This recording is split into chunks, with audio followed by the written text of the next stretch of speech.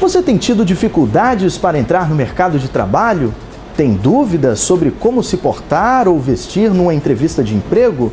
E você que trabalha, quer ser um chefe de sucesso ou montar o próprio negócio?